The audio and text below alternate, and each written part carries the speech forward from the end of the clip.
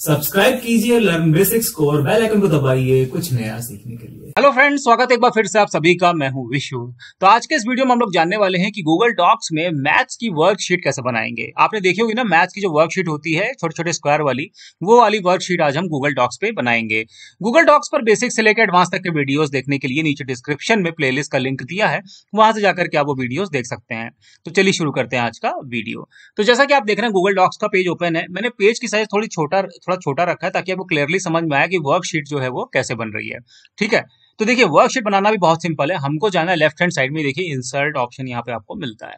ठीक है? इस पर क्लिक कर दीजिए। तो नीचे आपको बहुत सारे ऑप्शन मिलेंगे। हमको जाना है दूसरे वाले ऑप्शन पे, यानी कि टेबल पे। ये रहा टेबल तो जब आप टेबल पे अपना कर्सर ले जाएँगे तो राइट साइड में देखिए छोटे छोटे स्क्वायर वाले ऑप्शन आपको मिलते हैं। ठीक है? ये जो स्क्वायर हैं, ये ट्वेंटी इंटू ट्वेंटी तक जो है वो एक्सपेंड हो सकते हैं। देखिए, मैं नीचे तक इसको ले जा रहा हूँ। ट्वेंटी इंटू ट्वेंटी ठीक है? यहाँ तक ये एक्सपेंड हो सकते हैं।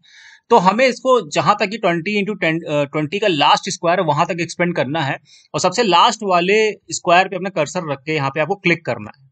तो जैसे ही आप इस पर क्लिक करेंगे तो आप देखेंगे कि यहाँ पर पेज पे इतने सारे स्क्वायर बन करके आ गए। मतलब ये एक तरीके की टेबल है जो क्रिएट हो गई छोटे छोटे स्क्वायर वाली। ठीक है?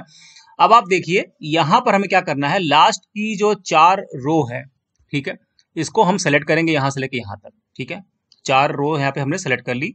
उसके बाद हमें क्या करना है? यहाँ पर राइट क्लिक करना है और देखिए इंसर्ट फोर रो बिलो पे क्लिक करना है। ठीक है? इंसर्ट फोर रो बिलो पे हमें क्लिक करना है।